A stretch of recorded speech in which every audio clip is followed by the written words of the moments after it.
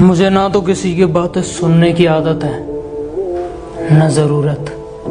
क्योंकि मैं किसी के बाप का नहीं, अपनी माँ के हाथ का खाता हूँ।